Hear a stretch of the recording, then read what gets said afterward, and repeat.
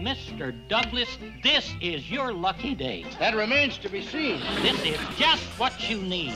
The eighth wonder of the world. Mr. Douglas, you've just had another lucky day. There it is, the ninth wonder of the world. Oh, no. I, I might be interested in that. May I present... Who's he? I can't believe it. Oh, that is a work of art.